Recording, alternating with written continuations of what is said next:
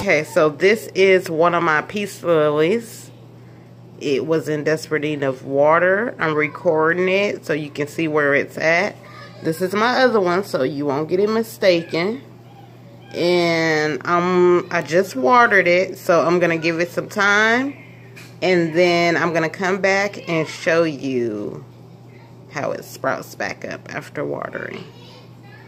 Seven hours later. Okay, so it's been uh, some hours now. It is now in the middle of the night. And I just wanted to come show you guys how that peace lily of mine sprouted up. That is the other one that was already kind of sprouted, but I gave it water too when it's perky. I didn't show you this one, I should have, but I gave that one some water as well, and now it is also perky. But this is the one that was drooping. It's still kind of drooping slightly to the right. So I'll probably give it a little bit more water and it should be fine. So yeah, I just wanted to give you guys a short video about peace lilies, I guess.